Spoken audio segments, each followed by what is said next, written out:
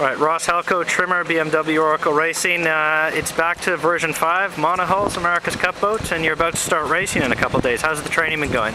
Ah, we've, the training's been on and off. You know, we've had some good days and some bad days out there. Mainly the bad days has just been uh, too much wind or lack of wind. So, but today we had a good a good day sailing. Uh, you know, getting our act together. It's, it's a lot different sailing these boats, obviously, than the, than the multi-hull which I've been doing the last couple of years. And uh, you know, it's nice to be doing some close racing, but uh, you kind of miss the excitement of sailing on the multi-hull, to be quite honest. When you come back into an event like this and, and all the America's Cup teams, you're coming in now as the defender. Has that put a bit of a target on the, on the back? Uh, I don't know about that. That could be true. Uh, you know, we're just here to go racing. You know, we haven't done any you know, racing like this in a long time, and we're just looking forward to having a good time and uh, you know, seeing how we go and do as well as we can.